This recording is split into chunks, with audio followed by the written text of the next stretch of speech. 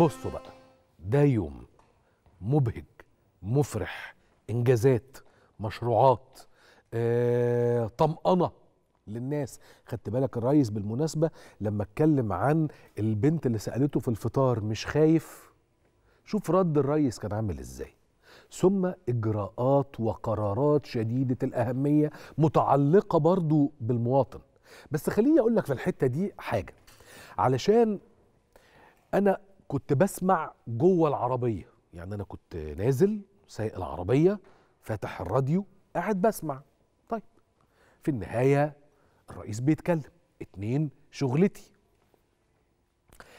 لما بدأ الرئيس يتكلم أنا خدت بالي بس دي يعني جزء من تركيز بصيت يميني وشمالي. وزحمة كما جرت العادة وما إلى ذلك. لاحظت إن الناس كلها على ما يبدو منتبهة لكلام الرئيس. أنا ما قعدتش في عربية حد لا أستطيع الجزم. لكن أنا قلت لك إيه لاحظت إنه على ما يبدو كل اللي حواليا سامعين لأنه في منتهى الجدية وفي حالة انصات. عارف لما تبقى قاعد مثلا سايق وعامل كده؟ وبعدين بدأ الرئيس يتكلم على ما وجه به الحكومة. والله والله والله لازم تشوف ابتسامات الناس وهم قاعدين في العربيات. ما تقوليش إن كل الناس اللي في الشارع اللي فاتحين الراديوهات على الأقل أربع خمس ست عربيات اللي حواليا اللي أنا شايفهم في إطار دايرة الرؤية بتاعتي وإحنا في عز الزحمة يعني كانت ساعه تقريبا اتنين ولا حاجة زي كده يعني. الله! لا!